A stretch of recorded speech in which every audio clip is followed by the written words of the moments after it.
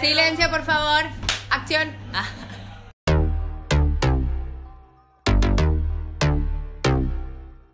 Soy Marol Rivero y esta es una entrevista para Inexex. Que te... Ah, bueno.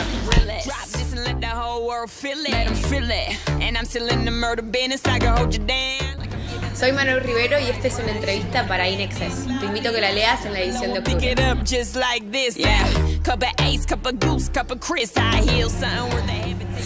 Eh, sociología porque era una materia del colegio que me encantaba y cuando quería estudiar cine sentía que me faltaba el contexto que hacía que las historias tuvieran sentido y lógica.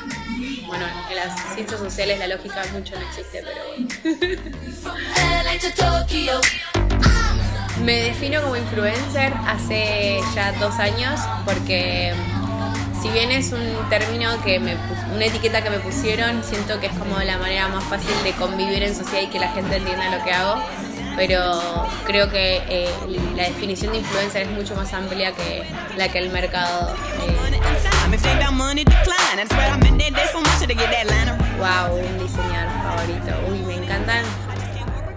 Tengo muchos diseñadores favoritos porque por suerte, por mi trabajo, tuve la oportunidad de conocerlos y sé el trabajo, el esfuerzo, la cabeza que le ponen. Pero si tuviera que pensar en uno favorito, siempre eh, digo que vestiría toda la vida, eh, sería Costume.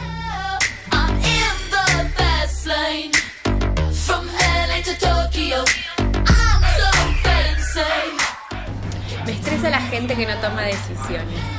¿Viste cuando como hace falta que alguien participe o diga algo o estás en una situación donde tienen que decidir y no lo hacen? Me estresa. Es como que es la vida pasa así.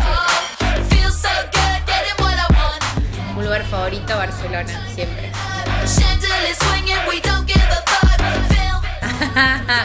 Una canción que tuviera que escuchar toda mi vida. Ahora estoy muy del indie argentino y soy muy fan de Conociendo a Rusia. Creo que Loco en el desierto es una canción que podrías poner en loop.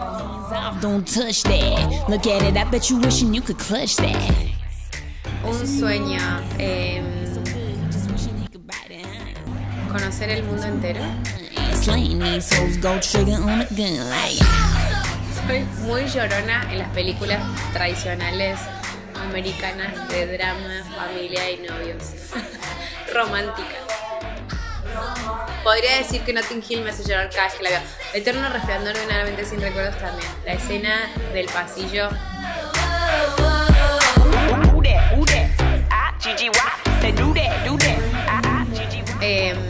Las zapatillas y los vestidos camiseros.